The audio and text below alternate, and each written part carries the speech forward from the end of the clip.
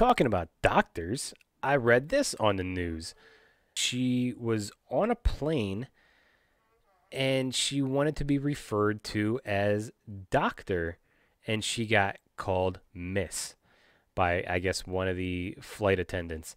Look, if you have that much of an ego, if you have that much of a problem, no clue who you are. You're dressed like everybody else. You're wearing your your stupid little white jacket that doctors wear. What is with the white jacket? Can one of you nurses tell me, or doctors, if there's a doctor out there, tell me what the fuck the problem is with the white jackets? Why do you have to have the white jacket with your little name?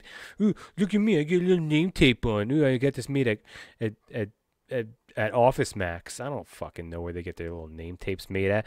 So you decided to go to, to college for eight fucking years? Good for you, dude. So if I see you out in public eating at Chili's, oh, hello, ma'am. Ma'am. Don't call me ma'am. I'm a doctor. Okay, well, I don't fucking know that, nor do I care. Go away from me. Go far away from me.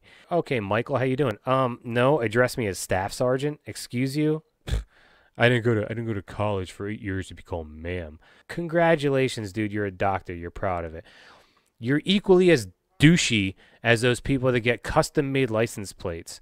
I got a custom made license plate because I have extra money and I have extra time and nothing better to do with my life but to let other people know that my car is special.